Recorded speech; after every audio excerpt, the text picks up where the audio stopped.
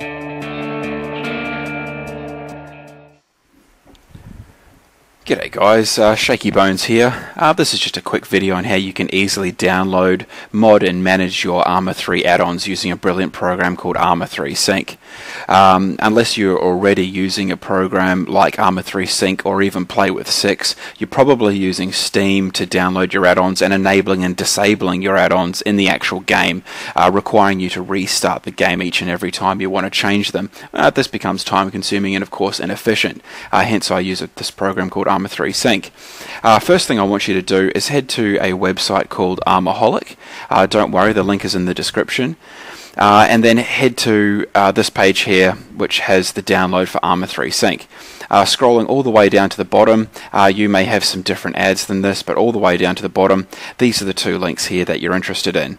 simply click on one of these links here, and you should get a pop-up like this. Now Arma 3 Sync does sometimes reload. Just simply scroll down to the bottom of the of the page and um, read, uh, re-click on the link.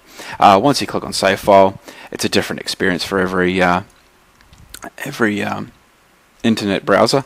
Uh, simply then run the program, install it as usual, as you would any other program. Make sure you read the agreement uh, and you know exactly where you're installing the installing the program. Uh, now, of course, I've already installed it, so I won't do that again. Uh, now, once you've installed the program, you'll basically get some, something along the lines like this. and it'll look something like this. Uh, now initially you won't have anything down the available add-on side and you certainly won't have anything in the groups. Uh, the first page that's going to pop up is uh, asking you to point in the direction of where your Arma 3 executable file. Now, for 99% of people, you probably have installed it under local disk, program files 86, Steam, Steam apps, Common, Arma 3. And this is the file here that you're specifically looking for, the Arma 3 application. Once you've uh, directed it to that there, to the correct exe, you will see it down here uh, under your launcher options tab. Now staying on this tab, these, this is the first uh, set of parameters we're going to want to change. Now everything does look relatively complicated at first, uh, but don't worry, once you actually have a play around with it and see how it works, it's actually very, very simple. Uh, so first thing to do is to select the profile that you probably want to use 90% of the time. Uh, for me, I only have the one, which is Shaky Bones. Uh, then simply click on No File Patching. This helps prevent uh, Arma from trying to update itself while the game is running. Now, if you know all the specs and you know the launcher details with with these here, go go right ahead if you're already running these. Um, I personally don't use them. I find they actually do absolutely no difference to my frame rate whatsoever. Uh, but what you do want to do is click on the no splash screen, the default world empty, and no logs. What these three things do is just simply make Arma launch a lot faster. It drops out all the Bohemia Interactive and the PhysX drop pages and stuff like that that you sort of have to watch every single time you want to do it, uh, every time you want to use uh, play the game. Then go up here, click on the add-ons tab here. Now, uh, oh sorry, click on the add-on options tab.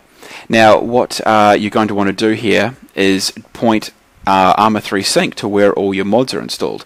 Now, this is one of the uh, biggest positives of this program is you don't actually have to install your mods in the same directory or even in the same drive as your Arma 3.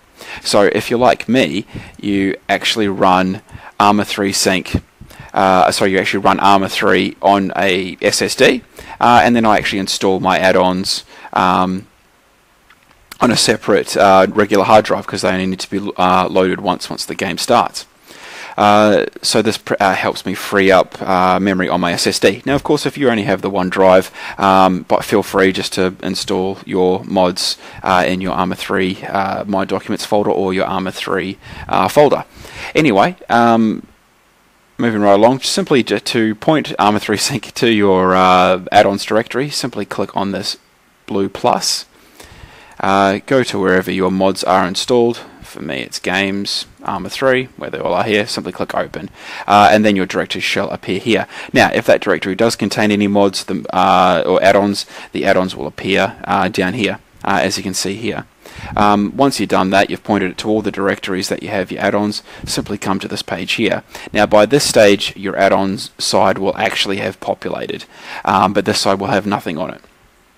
So what you want to do now is create some groups in which to launch Arma 3 with spe- the specific add-ons that you want to run. So if you have a clan group, for example, simply right click here and then click add group and then you can simply type in clan games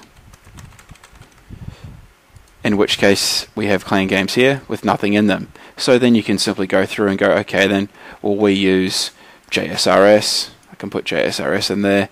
Uh, we use mocap. Uh, we use um, cup. And we use uh, CBA if I can find that. Now, what you can also do is simply click on the on one you like. So you use all the HLC weapons. Uh, you can click on the first one, scroll down to wherever you want, hold Shift, click on that one there. Simply drag it over and then drag all of them across. Now, if you're going to play custom games uh, with your clan or whatever else, you can individually select them, or if you want to be faster, you can simply click one and then click Start Game, and the game will launch with those specific mods entailed. Now, if I come back out of the game and I want to play Armageddon, I can just simply click on the Armageddon tab, which of course then launches the Armageddon uh, files that I run, Blastcore, uh, the Armageddon mod, FPS counter, JSRS, etc. Just simply click Start Game. After that,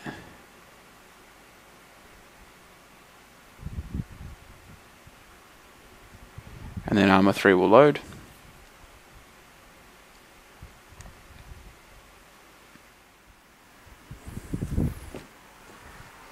So as you can see already, uh, I have straight away didn't have to go through the Bohemia Interactive logos, didn't have to go through the quick start, uh, and the world loads without any musical world. This just helps things speed up very, very quickly. So immediately you can see already uh, I st still had the Armageddon folder selected, and you can see my Armageddon mods are already clicked, already selected. Uh, so that's about it, guys. Really, um, have a play around with the mod, uh, with the program, uh, and find out what best work for you. Uh, if you like this video, click like. If you want to subscribe, subscribe. Uh, if you have any questions or comments, feel free to put them in the comment section below.